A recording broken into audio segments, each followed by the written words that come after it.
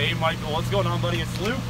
Down here at LA Nissan. I got that 2015 Nissan Xterra that you were interested in all pulled up and I also pulled up an extra Xterra right over here. But we'll start with this one. We'll go through it.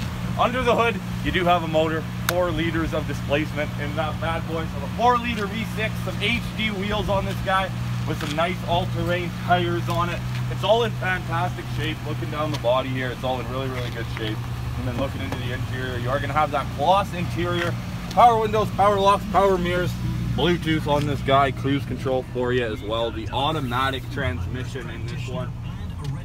Side steps are already installed in here, and then you do have your big roof rack system up top. Looking into the back seat. Tons of space back there for you too. All the seats are in really good shape. This thing's never been smoked in. It doesn't have any burn holes, rips, tears, anything like that in it.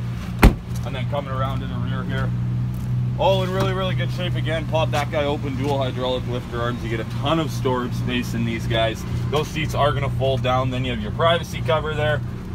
And then of course a little bit more storage under there. You get the full plastic floor as well, which is really, really nice. And then your first aid kit up top. Now, I know you were a little concerned on the history of this one, so I figured I'd go ahead and pull up one that has a much cleaner history. So this one's actually a Pro 4X.